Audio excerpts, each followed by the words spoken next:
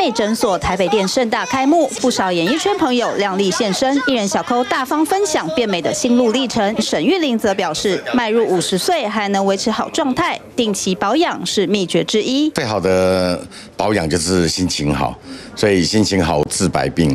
当然，其他附加的像吃保健品啊、做医美啊，啊，这个都是啊很重要的部分。所以我现在会执行的这种医美的疗程，都是属于那种现在做完马上就可以录下一集的。随着科技不断发展，医美成为许多人保养的一部分，市场也持续扩大。我们的那个经营做法还是比较不一样啦，我们是强调就是以医师为主，所以都是医师面对面帮客人评估、咨询、师做。哦，那呃比较能够第一线知道客人的需求了。爱美意识带动颜值经济，业者插旗台北，持续扩大美学版图。TVB 新闻综合报道。